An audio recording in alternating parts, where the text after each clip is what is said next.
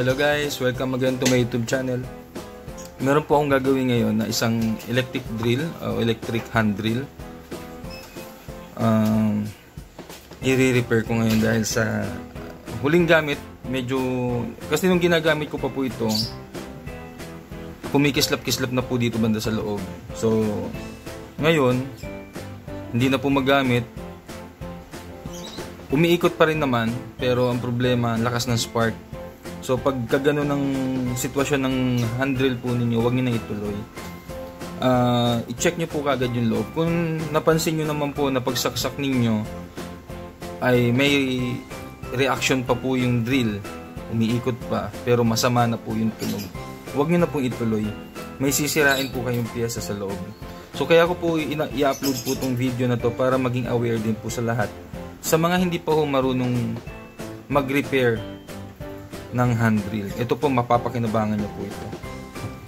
Ang gawin niyo lang po, since gumagana pa nga po ito, uh, baklasin niyo lang po yung cover, tanggalin niyo po lahat ng screw. Tapos buksan niyo po ito. May makikita po kayong housing ng, kung una-una nyo pong i-check muna pala, ay itong stator. Ito po. I-check nyo po yung mga ngipin nito. Dapat po, wala pa pong bungi yan. Hanggat maaari, wala pa pong bungi. Ayan po. I-check nyo po ito. Isa-isa. Pero ito kasi umiikot pa po. So, ang, ang akin lang po, na baka mamaya may natanggal na pong isang pin dito. Kasi pag natanggal na po yung isang, isang pin, uh, para sa akin, wag nyo na pong gawin. Kasi, nakailang repair na rin po ako dahil hindi nga po marunong mag-repair nito. Nakailang dikit na po ako natatanggal lang din dahil nga po ito ay uh, high temp. Umiinit po ito habang ginagamit. So, hindi na po talaga para sa akin kung kayo kung tayo lang po ang gagawa, hindi na po ito mari-repair. Pero kung mga uh, sanay na pong gumawa nito sa mga repair shop, alam po nila kung paano po kumpunihin to. So, ganyan nga po, dahil nga po ito ay kumikislap po sa loob pag ginagamit, malakas po ang tunog. Ipapakita ko na lang po sa inyo kung paano po mag-repair. Ang unang-unang dahilan po niyan, pagka ganito po gaya tuluman na, ang unang-una po niyong i-check yung carbon brush. Ito po ang itsura ng carbon brush niyan. Ito po yung housing ng carbon brush. Ayan. Ito po yung carbon brush. Mapapansin po ninyo na ito po, kala nyo po mahaba pa. Pero, once na kumislap na po yan, ibig sabihin po, nadidisalign na po yan sa loob. Kasi, ang normal po na haba ng carbon brush ay ito. Ayan po. Yan po yung normal na haba ng carbon brush. Kasi kadalasan po, pagkalahati, pinapalitan muna po talaga. Kasi, pag ito po ay halos kalahati na lang po ang natira, hindi na po magbabalanse sa loob. Ayan po. Oh. Kasi tinutulak po yan ng spring. Ngayon kung kalahati na po ang nakalabas, wala na pong magbabalanse sa loob. Ang mangyayari po parang ganito. Parang ganito. Ayan. Kalahati na lang po. Tapos ang nakausli na po ay ganyan. Halos hindi na po nakapasok yung pitan sa loob. Kaya mag, mawawala na po to sa align pwedeng gumanon o pwedeng gumanon depende po sa sa ikot ng drill pwedeng naka-reverse pwedeng naka-forward so dahil ito po ay naka-forward kaya pag umikot po yung stator ang mangyayari po ito po lalabas. Lalabas sa housing tapos kakalang na po dito mismo sa stator kasi dito po ito nakalagay. Kasama po kasi itong spring. So Didemo ko lang po sa inyo. Ito po para sa mga hindi pa po marunong mag-repair ng hand drill. So ganyan, papasok po yung spring. Tapos meron po yung stopper sa likod. Ito po yung stopper. Yan, nakaganon. Tapos ito nakatusok sa loob. Kasama yung spring.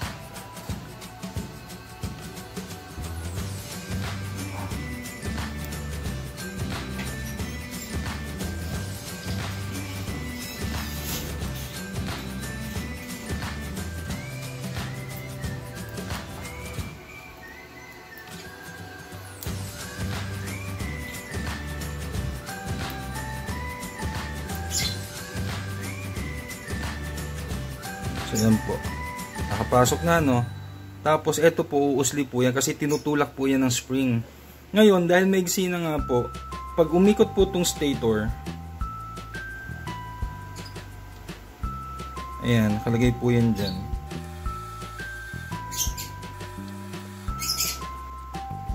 Yan po. Pag umikot po tong stator, may chance po na yung carbon brush dahil sa lakas po ng ikot nito, kakalang po yung carbon brush mismo dito sa mga pins, sa mga ngipin. So, yun po yung dahilan kung bakit kumikislap. Pag maigsing-maigsi na po yan at hindi na po talaga napipilitan na lang pong umikot yung carbon, yung handrail ninyo, i-check nyo po ito dito, yung nasusunog. Kaya po nasusunog ito dahil hindi na po gaanong lapat yung carbon brush mismo po dito sa stator. So, para po hindi masira ng tuluyan yung handle po ninyo, palitan nyo na po itong carbon brush para mas tumagal pa po yung paggamit po ninyo ng handle. Hindi po masisira yung stator nito. So, ang paraan lang po nito, kung maigsi na po yung carbon brush, bumili na po kayo ng carbon brush na kapareho po ng sukat. Ang importante lang naman po yung yung taba at saka yung haba. Pag bibili po kayo ng carbon brush sa, mga hardware po, gaya ng Ace Hardware, may nabibili naman po. Pero hindi po kasi lahat ng sukat meron. Iba-iba po kasi ang sukat niyan.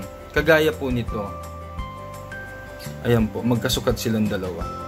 Ayan po. Magkasing taba, pero hindi magkasing haba. Pero ito po, hindi po para dito talaga. Itong carbon brush na to ay para po sa grinder. So ibig sabihin mas mataba pa ho to. Magkasing haba, magkasing kapal. Ito po yung kapal. Okay naman po yung haba, pero yung lapad po magkaiba. Dahil wala nga po akong mabilhan ngayon, dahil sarado nga po ang Ace Hardware at saka hardware, hinasa ko na lang po ito. Gumamit po ako ng liha para mahabol ko po yung kapal ng luma para magkapareho lang po sila ng kapal. Yun lang naman po kasi ang importante napapasok po mismo dito sa kaha. Papasok po dito. Kailangan maluwag po, hindi po pwedeng masikip. Kasi pag masikip po ito, mahihirapan pong tumulak yung spring So hindi pa rin po lulusot dito sa unahan pag masikip. Kailangan sakto lang po yung laki. Hindi po masyadong maluwag kasi pag masyadong maluwag naman po, madidisalign naman po din yung carbon brush sa loob. So hindi po pantay ang magiging kain, mas mabilis pong mapudpud kasi hindi pantay. Kaya dapat po sakto lang po talaga yung pagkakahasa ninyo para magamit po ninyo. Ayan po. Saktuhan lang po yung hasa. Pagkatapos po, idudugtong nyo naman po itong, itong ano na to, idudugtong nyo po ito dito mismo sa terminal. Ano po terminal? Yan, susum ko lang po. Yan. Idudugtong nyo po dito. Kasi itong terminal naman po ito, dito naman po dito, dito naman po ito nakalagay. Ah, ganyan po. Oh. Ganyan pong pagkakalagay. So, yun. So dahil nga po ito pinutol ko, ang gagawin ko na lang po, kasi meron pa itong paa. Ito po yung pinakapaa niyan. Dito po yung nakakabit. Ayan po. Oh. Dahil nga hindi nga po ito kanya, ang ginawa ko, pinutol ko na lang para mailagay ko naman po dito. Iipit ko lang po to dito para magdugtong. So gawin ko na po para mai-demo ko po sa inyo kung paano po magkumpuni at maglagay ng carbon brush na para hindi sa kanya. Kasi kung tama po yung carbon brush na nabili ninyo, tatanggalin nyo lang po ito, tapos babalatan nyo ng konti, ikiklip nyo na lang po. Kasi ikiklip lang naman po dito yung mga terminal po nito eh. Sa case po na to, ang gagawin ko po, ibubuka ko ho ito, tapos papa, ipapaipit ko naman po itong wire na to, itong copper. So, gawin ko na po para may demo ko sa inyo. Importante din po talaga na pag naggagawa po kayo, lalo na po pag mga electronics, dapat po meron po kayong tester. Malaking bagay po yung tester na yan.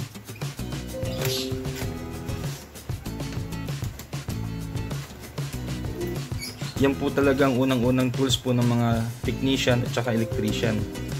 Pag wala po yan, hindi po tayo makakapagtrabaho ng maayos. Kailangan po muna ipasok nyo po muna tong spring bago nyo po po oh. Bago nyo po ito ikabit dito, dapat po ipapasok nyo muna tong spring. Ayan. Tapos gawan nyo na po ng paraan para hindi po bumuka. Kasi tutulak lang din po ng tutulak yan. So ang gagawin ko para hindi ito bumuka, gagamitan ko po muna nitong tie wrap. Para mapigilan lang po yung pagbuka nitong spring. Yan. Tapos dahil nakapasok na po sa tie wrap, tsaka po natin ito ilagay itong copper na wire.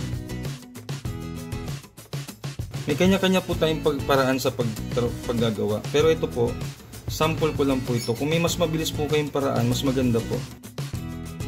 So yan po nakapasok na. So dahil nakapasok na ito, nakausli na po yung copper wire. Ito naman po ang gagawin ko ng paraan para maipit ko po yung copper wire dito mismo sa terminal. Kailangan ko po masungkit kasi itong nakatupi. Kasi pangalawang palit ko na po ito ng carbon brush.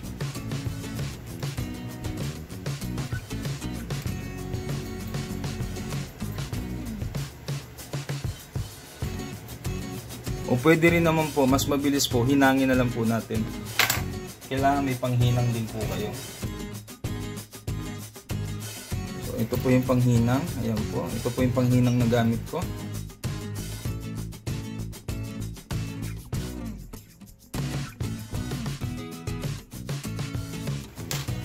Tapos ang maganda pong gamitin, hindi po ako nagpa-plug ng ano po no, ng brand, pero maganda po talagang gamitin tong Eagle brand sa paghihinang po.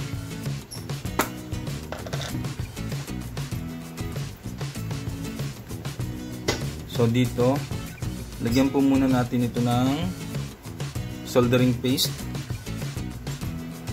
Kasi magpapakapit po tayo ng tingga.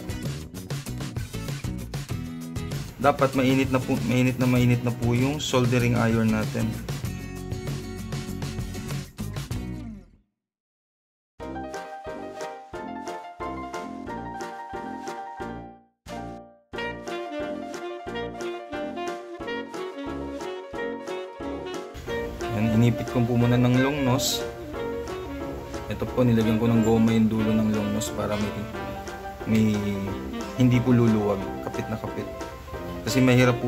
Clip.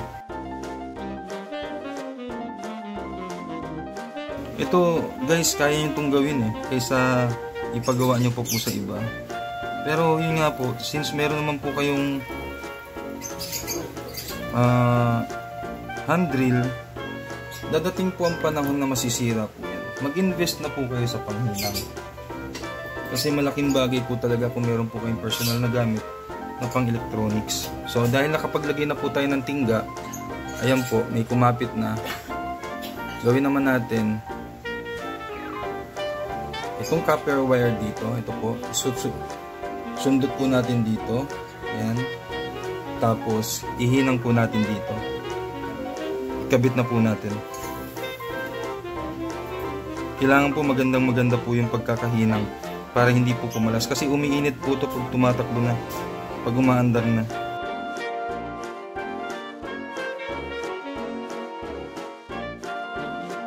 Yan guys.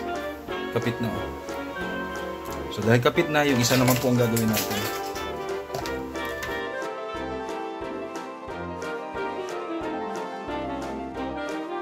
So tapos na tayo sa isa. Ito namang isa ang ikakabit natin kasi dalawa po yan. Ito naman po yung isa na lalagyan natin ng ganito pa rin. Ito po, dito natin kakabit. Importante guys, huwag kayong mawawala ng parts ng drill ninyo. Dahil pag nabawasan po yung parts niyan, hindi na po ninyo mabubuo, mahirap na po maghanap. Unless na lang kung bibili kayo uli. Gaya ng spring, mahirap pong hanapin.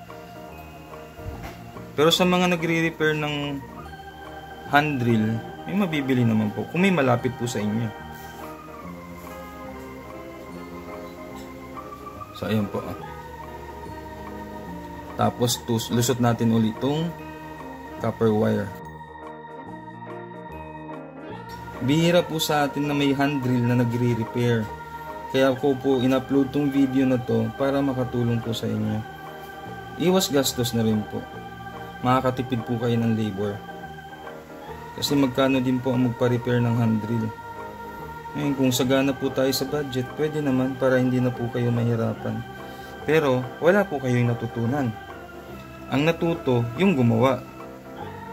Tama po ba? Pero, makakatulong po kayo sa kanila. Kasi hanap buhay po nila yon.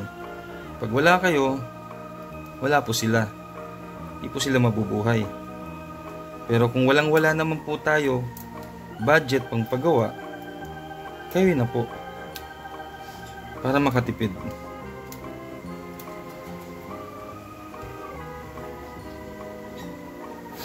So, gaya kanina, lagyan po natin ng soldering paste. Itong soldering paste na to guys, magandang gamitin kasi nasubukan ko po kahit sa stainless kasi kalimitan pong battery ng cellphone, may halong stainless po yung metal. So pag ordinaryong paste po na uh, ang ginagamit ko, hindi po kumakapit yung soldering LED.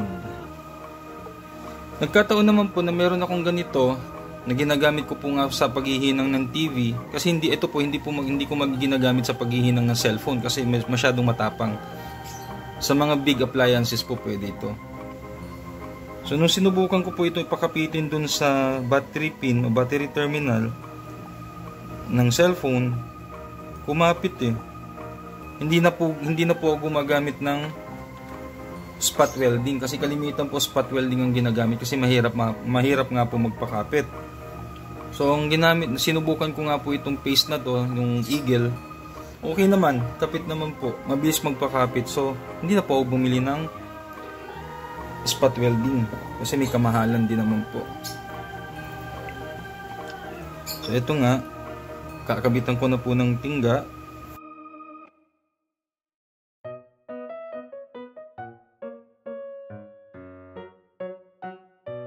Ayun guys kapit na pareho.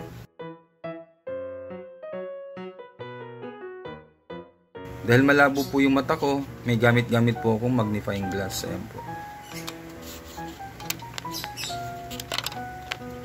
Laking bagay po sa atin yan, lalo na magmalabong mata. So ito po, dalawa na po yung naikabit natin. Ayan. So ngayon, ipasok na po natin dito sa pinaka-housing ng carbon brush. Ito pong dalawan to, may, ito pong, ito pong housing ng carbon brush meron po laging cover. Depende po sa model ng drill na ginagamit po ninyo. May kanya-kanya pong design kung paano po nila inassemble yan. Kagaya nito, ito po yung takip. Ayan po. So, assembling ko na po.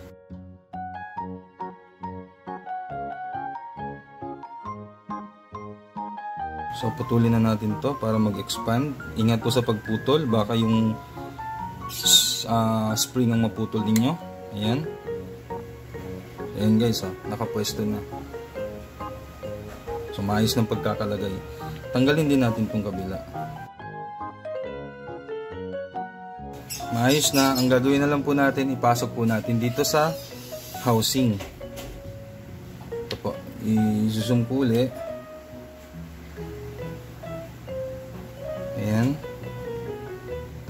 Tapos, tandaan nyo lang po lagi kung paano po nyo binaklas para hindi po kayo mahirapan sa pagbalik. Etong butas na to, itong kanal na to, para po to dito. Dito.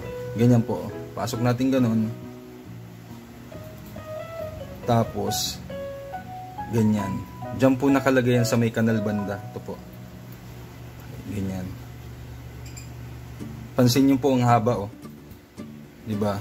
Kasi yan po ang nagbibigay ng kuryente para dito sa stator. Tapos dahil nalagay na natin, kapit na po natin tong takip sa likod. Ayan.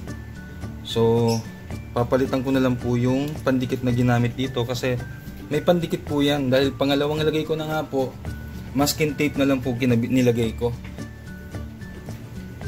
pwede naman po hindi naman po masusunog. Kasi ito pong handle na to matagal ko na pong gamit. Masking tape lang naman po ang nilagay ko. Pero kung meron po kayong magandang pandikit wag lang po rugby kasi matutunaw po yun. Pwede yun. Mga thermal tape pwede po yan. Hindi ko lang po sigurado sa electrical tape. Kasi nahahatak po yun eh. Pag nainitan lumalambot kaya hindi ako gumamit ng electrical tape. So kabit natin dito. Ayan. Dapat fit. Tapos ganyan yan. Yan po oh. tapos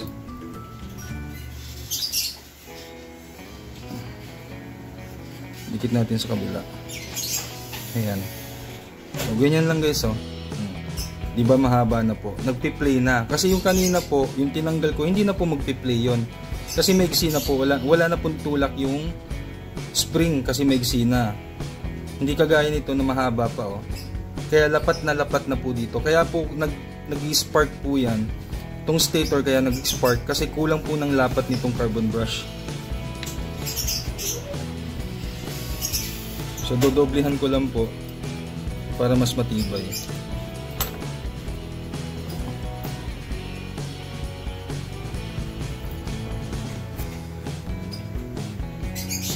Yan. So, dahil maayos na, lagay na po natin dito sa frame ng grinder natin, ng drill natin. Ayan po. So, lapat na lapat na po yan, oh. Hindi kaya kanina, ang laki po ng usli. Tapos may posibilidad po na pag umikot na po ito, ay kakaroon ng spark kasi wala na pong ah, hindi na po masyadong lumalapat. Tapos ito naman pong isa ilagay natin. Palitan ko na rin po itong tape na nilagay ko. Sa mga kabataan po natin dyan, pwede nyo po itong gayahin, pwede nyo pong pagkakitaan.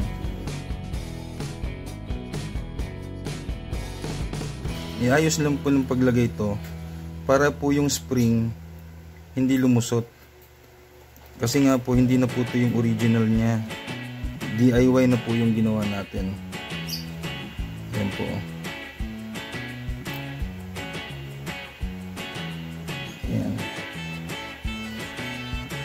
Pansin nyo po, nagbabounce na po.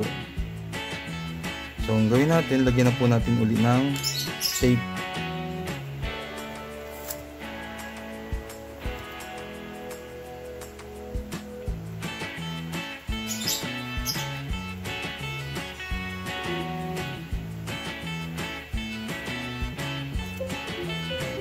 Kasi dito po sa amin, sa lugar namin, bihira po kasi ang marunong gumawa ng handle. Yung mga kakilala ko po dito, madalas pag ganitong senaryo, tinatapon na po nila. Nalalaman ko na lang po, nakuha na po ng mga mga ngalakal o basurero. Kaya nakakapanghinayang. Ngayon, kung may mga kakilala po kayo na ganito ang sira, pwede nyo pong gawin. Pwede nyo mong pwedeng gawin pera. Mga maliliit na bagay na nakukumpuni, pwede nyo pong pagkakitaan.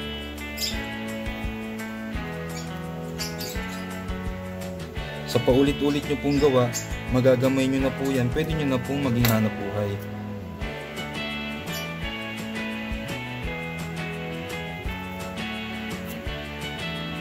So, ayan po. So, ilagay naman po natin dito sa kabila. I-press nyo muna to. Pero pag magpipress po kayo itong carbon brush, huwag po kayong gagamit ng metal kasi masusugatan po yan. Kaya nga po ang gamit ko popsicle.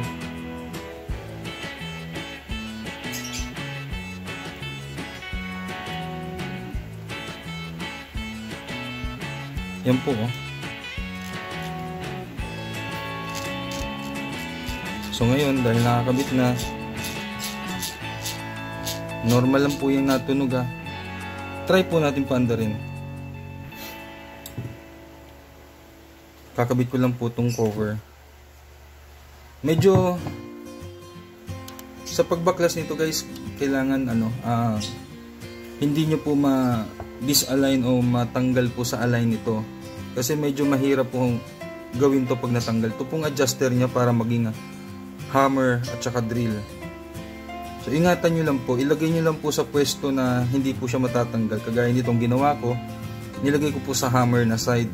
Para pag tinanggal ko po itong cover sa ibabaw, hindi po ito tatalsik o hindi malalag, malalaglag. Tapos kung may grasa po kayo, kung may grasa po kayo, lagyan nyo na rin po ito ng grasa. Itong loob, itong mga ngipin. Kasi importante po yan na may grasa. Kaso wala akong grasa. Sandali lang guys, sana pong grasa. So ito guys, may nakita pa akong grasa. Lagyan na natin. Kasi dapat po talaga ito may grasa para po yung ngipin hindi po basta-basta masisira o mapupudpud. Yan lang naman po ang maintenance ng isang hand drill. Grasa po magpapatibay dyan o magpapatagal. Kasi pag wala pong grease, mabilis pong mapudpud yung gear nito.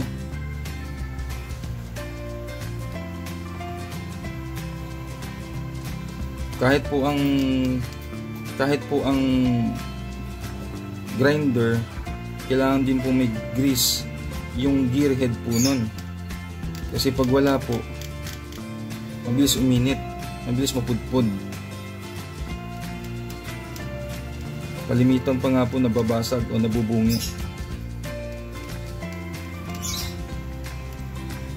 Yan po ang pinakabuhay ng grinder natin at saka ng hand drill. Grasa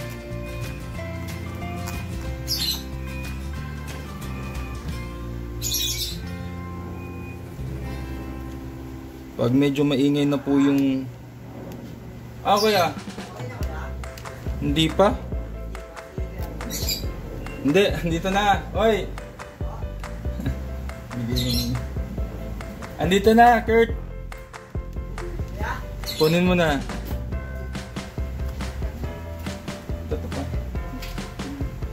Pasok. Kuya, may papacheck din po ako. Oh.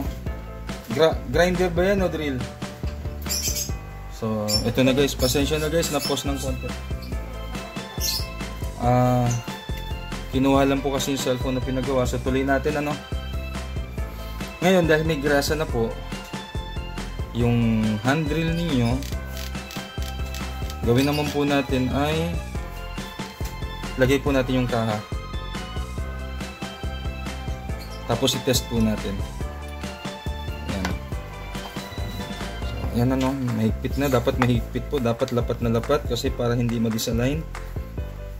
Bago nyo paandarin. Yan, dapat lapat na lapat. Yan po. Yan. Samahan nyo ng pukpok. Para mahigpit lang po. Yan. So maglagay po muna tayo ng kahit mga ilang pirasong tornilyo lang po lalo na po dito sa may parte ng winding o stator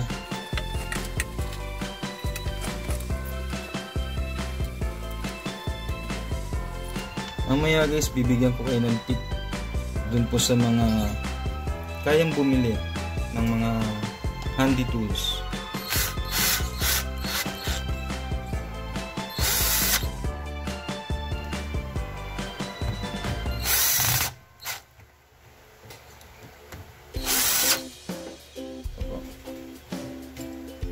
Po, dahil may, may tornilyo na po yung housing, pero hindi ko pa nilahat. Para lang po matry natin kung ano na po magiging resulta.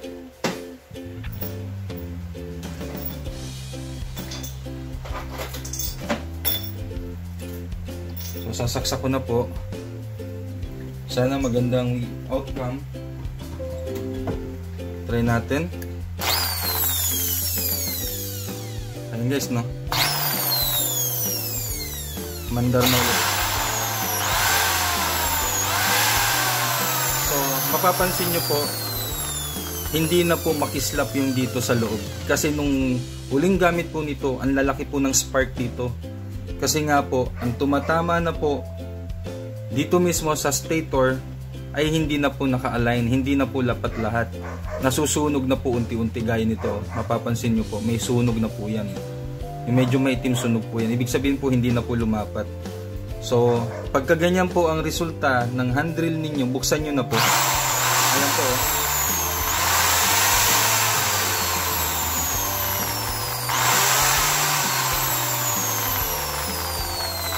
So yun guys. Ah, sana po may natutunan kayo. Nga pala guys, ito pa, may big- magbibigay lang po ako ng tip sa inyo. Sa may mga power tools. Ganito po. Kung meron po kayong ah, tawag nito, meron po po kayong portable o cordless na ganito, na drill. Kasi meron pong mga model nito gaya nito, merong hammer, merong drill, merong screw. Sa mga hindi pa po aware. Ito guys, local lang po ito. Pero medyo matagal-tagal ko na, napakinabangan na rin naman po. Local nga lang po. Kaya ingat na ingat din po ako. Sa mga, meron pong ganito na cordless drill. Kung gagamit po kayo ng drill pampader, ilagay nyo po sa hammer yung settings. Ayan po. May arrow po yan dito. Ayan. May arrow po yan. Itapat nyo po yung hammer. Kung magbubutas lang naman po kayo, gaya ng kahoy o bakal, ang gamitin nyo po itong drill. Ang hammer po ay nagagamit sa pang-concrete o mga bato. Pag mag-screw lang naman po kayo, magtatanggal kayo ng screw, lagay nyo po dito sa una. Yan po yung screw. Huwag nyo pong gagamitin ito madalas, lalo na pag matitigas na po yung bato, huwag nyo pong gagamitin. Masisira po ito. Hindi po ito nakadesign para pambutas ng bato. Mas maganda po ingatan ninyo kasi may kamahalan din naman po kahit sabihin nating local. Medyo mabigat din po, aaray po din yung bulsa natin. Sayang po yung pera, uusok lang po yung motor. So, sa may mga ganito, lalo-lalo na po sa hindi pa po masyadong kabisado sa paggamit po nito. Yung tinuro ko kanina, yung drill, hammer, tsaka screw, gamitin nyo po sa tamang paraan. Huwag po kayong gagamit ng, ng drill kung ang binubutas ninyo ay concrete. Iinit lang po yung talim, masusunog lang po yung talim, pero mahihirapan po kayo magpalubog ng talim. Kaya nga po may nakadesign na hammer. Sa original po nito, maganda po yung function nito. Kasi kung screw ang gagamitin ninyo, mahina lang po ang ikot nitong ah ito, mahina lang po ang ikot nitong chuck head. No. Pag ginamit nyo po yung screw, mahina lang po ito mahina ang ikot ng chuck head. Pag ginamit nyo naman po itong drill, mabilis po ang ikot ng chuck head. Okay, pag concrete naman po ang gagamitan ninyo, ilipat nyo po sa hammer para ito po magbabibrate para mas mabilis magbutas. Pero gaya nga po ng sabi ko, hindi po ito pang heavy duty, pang mabilis ang trabaho lang po to. Mas maganda gamitin nyo po sa light na trabaho. Huwag po sa mabigat. Ito po ay para sa mabigatang trabaho. Pang heavy duty na work na po ito. So kung kailangan nyo ng hammer, marami po kayong tatrabahuin na concrete, mag-invest na po kayo dito sa hand drill. Kahit po second hand, pwede na po yun. Ingat lang po sa paggagamit para hindi po kayo magastusan ng malaki. Kasi wala na nga po tayong budget, bumili tayo ng second hand, pagkatapos ang gamit naman po natin ay hindi tama, sisirain nyo lang po yan. Kahit brand new, masisira lang po kung hindi po tama ang paggamit. So yun lang guys, sana may matutunan po kayo sa mga nakapag- nakapag-subscribe na. Maraming maraming salamat po. Um, baka pwede nyo naman pong panoorin yung mga iba ko pong videos para kahit pa paano ah, mapansin po ni YouTube. Sa mga hindi pa po nakasubscribe, paki-subscribe naman po. Paki-hit na rin po ng like, share, at saka ng hit notification bell para maging updated po kayo sa mga panibago ko po pong videos ng mga i-upload. Maraming salamat sa inyo guys.